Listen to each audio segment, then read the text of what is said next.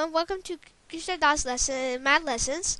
So today I'm going to show you a way to actually do prime factorization. So first we're going to draw an 8 here because we're going to find prime factorization at 8.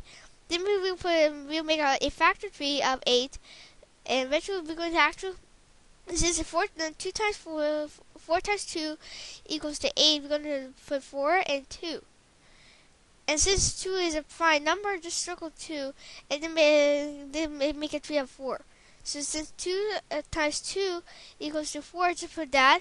And that's actually, and then circle those two. Now we have all the prime numbers because 2 is a prime number, so we're going to use that as to find the factorization of 8. So um, we're going to what we're going to do is the this is we're going to, I'm going to show you two forms of uh, writing this. 2 times 2 times 2. And if you multiply it, 2 times 2 equals 4, 4 times 2 equals 8. That equals 8. Same thing, if you want to make this shorter, you can actually do 2 cubed, because it's 2 uh, or 2 to, the, to the power of 3. You would get, the output you would get is 8 itself, because 2 times 2 equals 4, 4 times 2 equals 8. So thank you for watching this lesson, and this is Krishna Das Math Lessons.